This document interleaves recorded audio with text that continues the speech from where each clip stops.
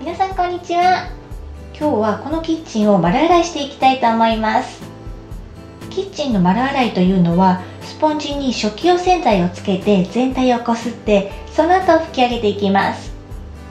インスタグラムではやっている方をよく見かけるんですけど私はこの作業が結構大変だと思っていてあまりやることはないんですけどそれでも丸洗いするととても気持ちがいいです。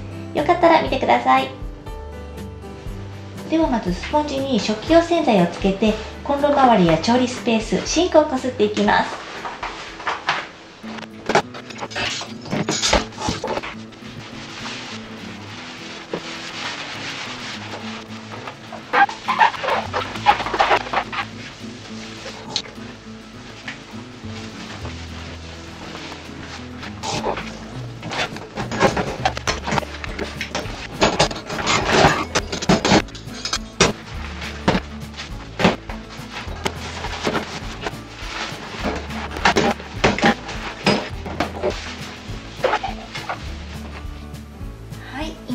チンが泡泡になっているんですけど今からこれを拭き上げていきます。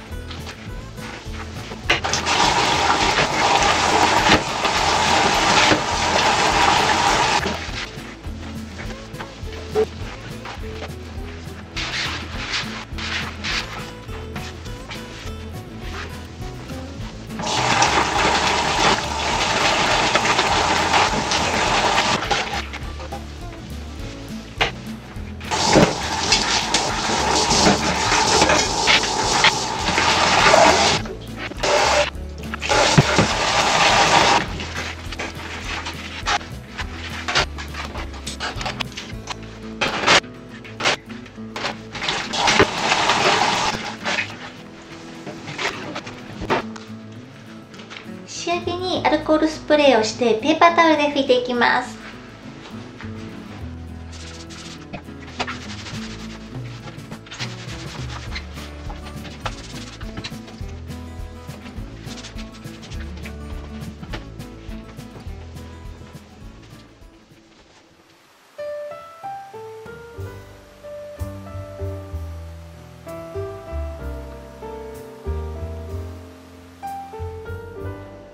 終わりました。